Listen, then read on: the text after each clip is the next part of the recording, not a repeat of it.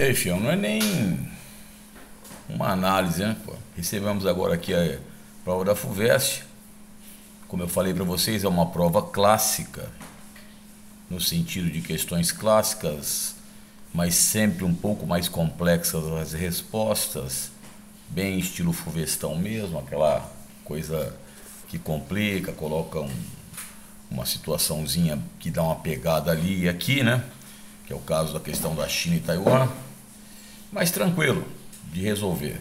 Fala sobre o café, sobre a marcha do café para o oeste, né? mostra para Campinas, depois Rio Preto, regiões aí abrangendo a Terraçatuba, várias regiões de São Paulo sendo abrangidas pelo café, com a dinamização dos transportes.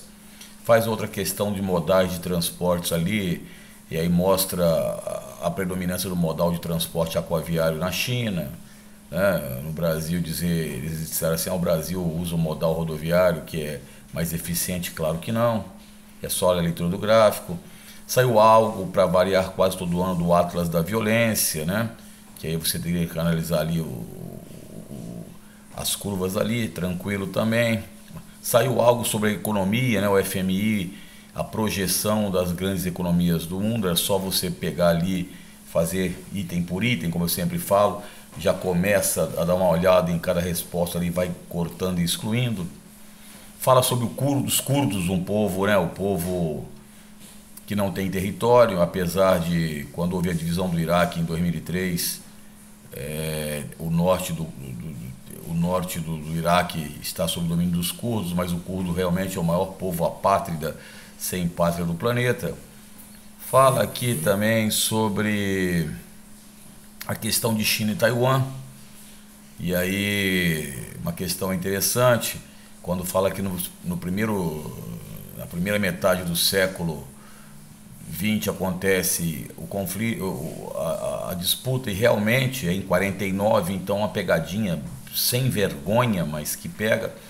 Fala sobre Cuba e Estados Unidos, relação de Fidel Castro lá com o governo americano, também ali também questão fácil. Fala sobre o Shah Reza Parlev, né, que fez a Revolução Verde, depois foi retirado do poder. Isso aconteceu antes da Revolução Teocrática Iraniana. Então, nada de, de, de situações. Aí depois mostra um desenho da Caatinga dos Cerrados das Araucárias, desenho clássico que quase toda a prova da, da, da, da, da, FUVEST tem. Mostra o deslizamento em São Paulo. Eu falei para vocês que iria cair isso aí. Falei, se cubra aí que vai cair deslizamento de terras de São Paulo pelas chuvas. E depois mostra a formação gigantesca de uma, de uma vossoroca, se não me engano, lá no Maranhão. Né? Questão de chuvas, aquela coisa toda. Mostra a Serra do Imeri ali com, com a sua biodiversidade, era só para fazer uma análise ali, também não teria nada de excepcional. É, que mais aqui? Na, em física mostrou ali, se não me falha a memória, a magnetosfera, né? A questão da magnetosfera terrestre, e aí você teria que dar uma olhada nos conceitos físicos, mas também nada de desesperador, e aqui eu não estou entendendo nem o que, que eu escrevi aqui, mano. Entendeu?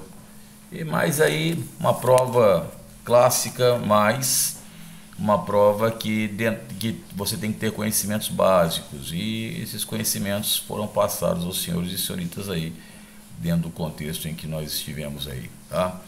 Com o tempo depois farei análise de questão por questão, estou tentando ver nas férias comprar aí alguma coisa para começar a analisar questão por questão de, de vestibular, trazendo para vocês algumas questões com calma. E vamos, vamos que vamos que o sol não pode parar e a chuva está aí. E não caiu nada sobre El Ninho, não caiu nada. Ah, e caiu uma questão aqui agora que eu entendi que eu escrevi aqui. Pesca e correntes marítimas. É, as correntes frias geralmente são riquíssimas em plâncton, já falamos sobre isso, mas eu nem vi a resposta lá também mas eu vi ali que era ligado à pesca e correntes marítimas. Geralmente nas correntes marítimas frias você tem grande quantidade de pesca. E também tem na Gulf Stream, que é uma corrente marítima quente que banha o litoral das Ilhas Britânicas e também a Noruega, né? As águas lá dos mares setentrionais são muito geladas, do Mar da Noruega e do Mar do Norte são geladas.